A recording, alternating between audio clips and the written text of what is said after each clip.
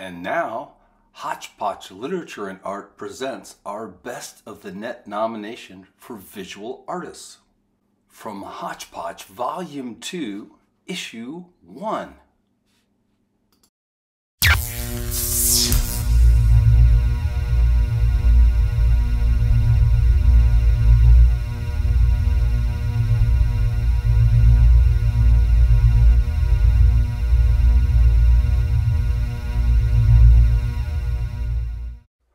We wish luck to all of our nominees. You can find more great art, stories, drabbles, and flash fiction at the Hotch Potch website. Here's the link. Thanks for being readers. Readers rock, and we love you.